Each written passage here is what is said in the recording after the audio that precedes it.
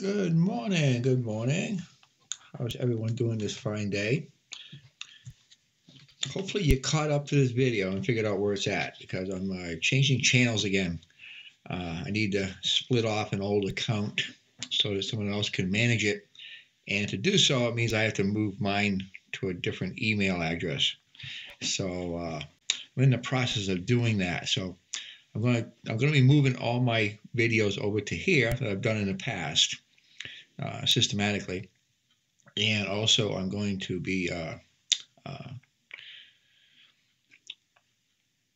moving uh, all the current stuff over to this channel. Uh, so hopefully you found my link and that you are able to find me. So let's start with a word of prayer. Dear Heavenly Father, oh, thank you. Thank you so much for this time we get to look into your word and praise you and thank you, Lord, for all that you've done and uh, helping me to see uh, what you have for me to do in these final days as we wait for your soon return, Lord. We pray, give you praise and thanks in everything you do. In Jesus' name I pray. Amen. So we're continuing from yesterday. Uh, we had left off we're in chapter uh, 19. We left off at, at, verse 22. And so we're going to finish up the rest of the chapter today. So I just called this one uh, day two of righteous actions, holy in character. And this is the display we were using. That's up in this right corner here. We left off talking about the difference between forgiveness, forgiveness, divine forgiveness versus human forgiveness. And now we're starting into a section that's talking about uh, uh, some other different things that we have to pay attention to that uh, the uh, Israelites. And again, uh, these a lot of these have been changed in the New Testament when Jesus Christ fulfilled a lot of these. Some of these were symbolic of Jesus Christ, and so uh, they were changed in the New Testament. But it also tells us a little bit about the character of God. So I don't I don't downplay them. I don't necessarily see that we have to be as strict we don't have to abide by them as strictly as they did because some of the reasons behind god choosing these ones for them was based on the fact of the area they lived in so i'll try to point that as out as we go along here in leviticus so this is basically what they call the old law but i think it also shows us the character of god and so that uh, it's our schoolmaster it shows us why we are sinners, as uh, is the best way of putting it. So verses.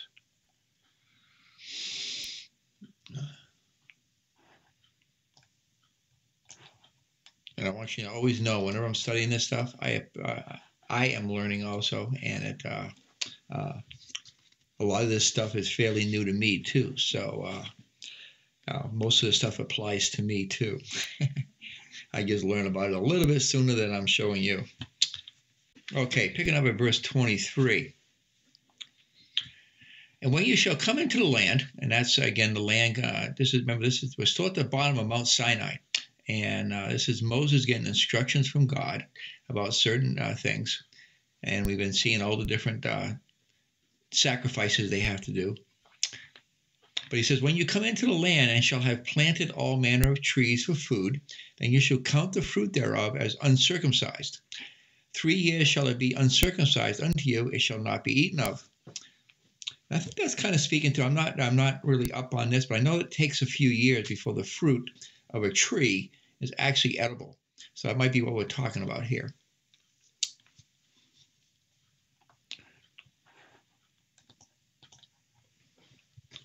But in the fourth year, all the fruit thereof shall be holy to praise the Lord with with all. And in the fifth year shall you eat of the fruit thereof, that it may yield unto you the increase thereof. I am the Lord your God. This is also a, a kind of a way of uh, of how we give we give back to the Lord too, because talking about uh, it's also kind of re- reflects on giving our our first. So the fourth year that all belongs to the Lord. Uh, so even though it's probably edible the fourth year, that's the Lord's. And then the fifth year that we can take our portion. And from then on. It's that whole idea of giving our best, our first uh, to the Lord. And, uh, and, we, and it reflects on the fact that Jesus Christ is the first fruits of all those that are going to get saved or have eternal life. And some verses on this in Proverbs 3 9 and 10. Honor the Lord with all thy substance, and with the first fruits of thine increase. So shall thy barns be filled with plenty, and, and thy presses shall burst out with new wine. I have learned that ever since I became a cheerful giver and not thinking about, uh, I like the, the terminology of don't don't pay attention uh, what hand one uh, what the right hand is doing uh, to and the, to the left hand. It means, in other words, don't pay attention, don't be concerned uh, about what you give. Uh, give it no second thought. You cannot outgive God. God will always be there to supply our needs. But don't think it's a, it's a like a contract either. Uh, like if I give a certain amount, then God's going to give it back to me. No, it don't work that way. Uh, you just got to give and and with faith, but uh, believe that the Lord is going to uh, supply your every need. Okay, moving on to verses 26 through 28. You shall not eat anything with the blood, neither shall you use enchantment nor observe times. Those last two things are talking about uh, the magic and uh, and different things along that na- nature, wizardry, uh, necromancy, uh, necromancy. That's uh, thinking you'll be able to to speak to the dead through like a medium or something like that. Those are all against God's commandments. And you should not eat anything with the blood. It means that the the blood itself should be drained out of the animal, uh, and, and, for most of us it is when we buy it in a meat market. It's already been done. Uh, but that uh, if you are killing uh, a live animal, you make sure you drain all the blood out first. Verse 27 shall not round the corners of your heads, neither shalt thou mar the corners of thy beard. This has to do with uh, shaving and uh, doing certain superstitions when it came to your the hair of your head. You shall not make any cuttings in your flesh for the dead, nor print any marks upon you. I am the Lord. That last one, I'll try to explain it a little bit. Uh, I got a little uh, thing here on this particular thing. There are six commandments here that condemn the practices and superstitions of the heathen. They were not to eat flesh with the blood in it. They were not to trim their hair and leave little tufts of it. And they were not to act like the heathen when a loved one dies, which is not a tattoo in the general sense what they would do is they cut themselves. Uh, cuttings in the flesh for the dead. The reference here is to the practice of making deep gashes in the skin while mourning the death of a relative. This was done to provide life lifeblood for the spirit of the dead person rather than to express sorrow. And another thing that's common about it is that you probably heard different things about tattoos, and I know uh, uh, some people listening may uh, have them. I personally, number one, uh, don't see, I don't personally have any. I never had really a desire to get any, but I don't see that uh, uh, tattoos in themselves are a sin. But certain types can be if they're if they're to for worship purposes. So tattoo indicated that was one of a slave to a particular deity. And so what they would do is that they would actually draw a tattoo of a certain god on their skin. And so that it was like showing a way of worship this kind of leads into that whole mark of the beast thing when we're going to whoever's still there in the tribulation uh, they're going to actually um, put a tattoo of some sort on their skin to be uh, to show their loyalty to the antichrist. So that's another indication of, uh, of what this verse is talking about. Then ancient writers abound with accounts of marks made on their face arms etc in honor in honor of different idols. And to this is the inspired penman alludes uh, again. So it is it is kind of referencing tattoos, but there's certain ones having to do with worship and had to do with the area they lived in a lot. So part of this message to us today is that what our culture thinks and how they perceive things is important. If some clothing or jewelry or body decoration would associate us with a pagan world, it should not be done. This is a difficult line to draw because the standards of culture are always changing. Some modern examples of changing standards are like hair length and earrings for men. In Paul's day, in the city of Corinth, only prostitutes went around without a head covering. So it was right for the Christian women of Corinth to wear veils, though not required to by the letter of the law. Paul reflects on this in 1 Corinthians 11 5 and 6. But every woman that prayeth or prophesies with her head uncovered dishonors her head, for that is even all one as is, as if she was shaven. For if the woman be not covered, let her also be shown. But if, if it be a shame for a woman to be shown or shaven, let her be covered. So, in other words, that was the idea behind it: is that uh, the the women that shaved their heads or uncovered their heads in that particular area uh, were the prostitutes, and they actually right in the temple. Uh, they actually had rituals where they would uh, practice certain sexual rituals to certain gods. So that's where some of this stuff comes from. Okay, Leviticus 19:29.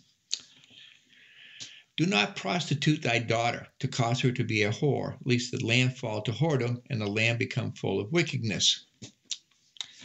So this is a condemnation of a heathen practice which prevails to this day among some people. I have read that men in this country go through college with the money their wives earn as harlots. How terrible! That was a that was a statement uh, by uh, uh, Dr. McGee, but I agree with him. There's certain countries that actually practice that. I never hear. I remember hearing one when I was in Turkey that I thought was, boy, uh, don't get in trouble. Uh, it's, let's say uh, somebody was caught stealing or something, and they were put into prison. It was up to the family uh, to uh, make sure that that person was taken care of and fed. If it was a man, because the man was considered the breadwinner of the family, it was actually the wife that had to had to go into jail uh, to uh, to do his time. Very similar idea. Uh, some of these cultures, women do not have any kind of a, uh, a standing at all. Okay, on to verse 30. You shall keep my Sabbaths and reverence my sanctuary. I am the Lord. The Sabbath was a sign of the relationship between God and the children of Israel, and it was to be observed strictly. This is brought out in detail, though, in Exodus 31, uh, 13 through 17. Speak thou unto the children of Israel, saying, Verily, my Sabbaths you shall keep, for it is a sign between me and you throughout your generations, that you may know that I am the Lord that doeth sanctify you. You shall keep the Sabbath, therefore, for it is holy unto you. Every one that defileth it shall surely be put to death. But whosoever doeth any work therein, thy soul shall be cut off from among his people. Six days may work be done, but in the seventh and the Sabbath of rest, holy to the Lord. Whosoever doeth any work in the Sabbath day, he shall surely be put to death. Wherefore the children of Israel shall keep the Sabbath to observe the Sabbath throughout their generations for a perpetual covenant.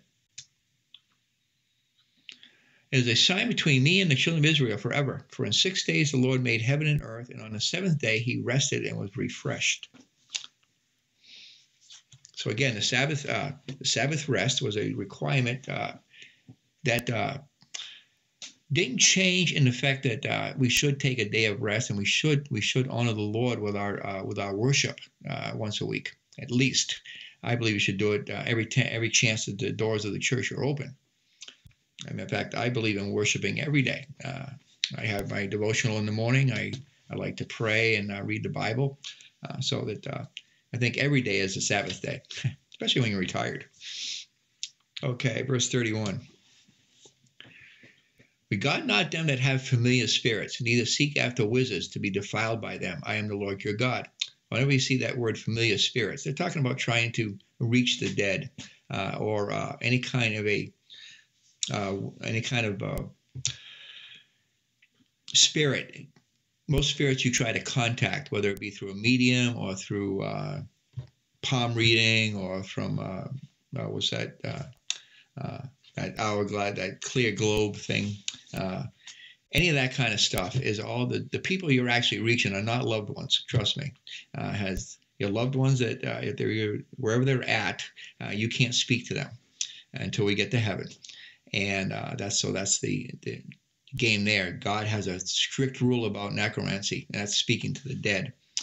Uh, so that any spirit you think that uh, somebody might say they've talked to is most likely a demon, and the demon is going to act like their loved one to try to get to try to get them to uh, think that they're actually talking to a real their real loved one, and they're not. So this is one of the many warnings against spiritualism and demonism. The supernatural and satanic character of this practice is recognized in Scripture and rejected. I've been watching this series by a uh, man that I like. Uh, uh, he talks a lot about this kind of stuff.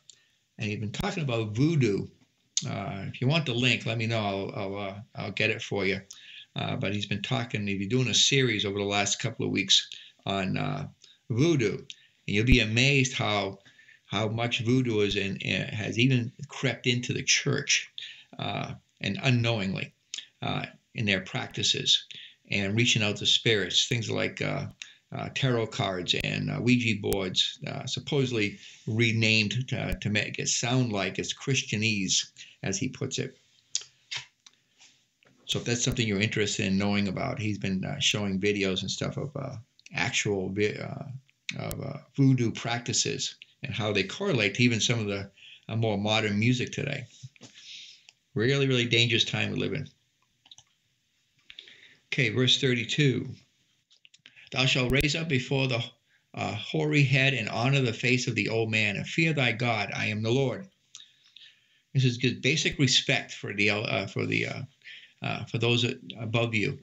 You know, one of the things I miss now that uh, they're gone is my father and my grandfather. Uh, lots of wisdom in our in the men and uh, women that are above us. Uh, so much we can learn from. Uh, so it's it's an honor to to to our elderly folks uh, to get as much information as possible before they pass. That's what this verse is speaking to. Some other ones on that. 1 Timothy 5 1.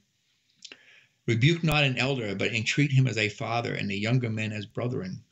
1 Peter 2 17.